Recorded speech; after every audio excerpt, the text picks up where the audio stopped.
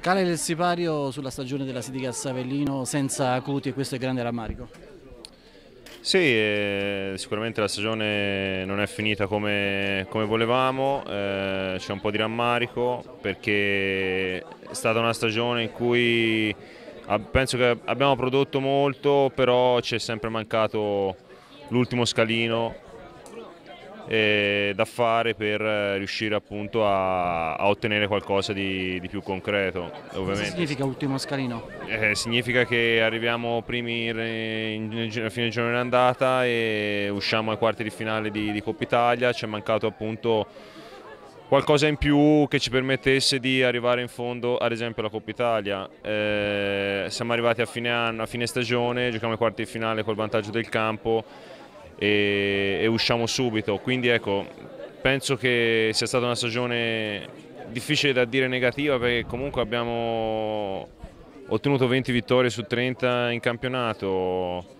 Eh, siamo riusciti a arrivare in fondo alla FIBA Europe Cup anche se eh, ovviamente siamo usciti dalla Champions League, questo non è che si può dimenticare e quindi dico, mm, è difficile dire che sia stata negativa per questi motivi, allo stesso tempo se si pensa a, al fatto che non abbiamo comunque ottenuto niente di concreto, non siamo riusciti né a portare a casa un trofeo né a eh, comunque arrivare almeno ne, nelle, in semifinale, eh, certo questo non può essere considerato positivo. Ecco. Sotto il profilo personale invece che stagione è stata per eh, Loloderco?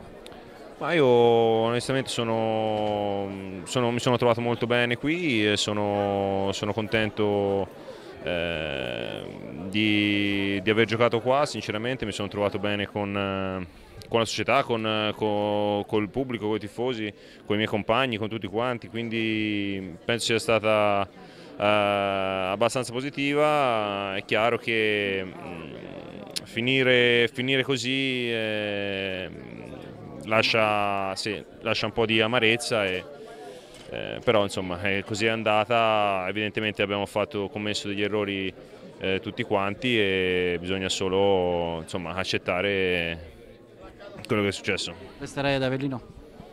Eh, io ripeto, ancora forse è troppo presto per parlarne, però ripeto, io sono, sono stato bene qui, sono contento e penso sia una possibilità.